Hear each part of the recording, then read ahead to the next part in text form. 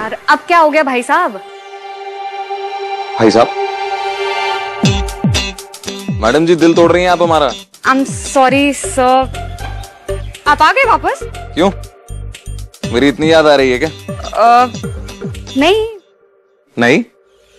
I I mean mean, मैं अब तो तुम सही में दिल तोड़ रही हो।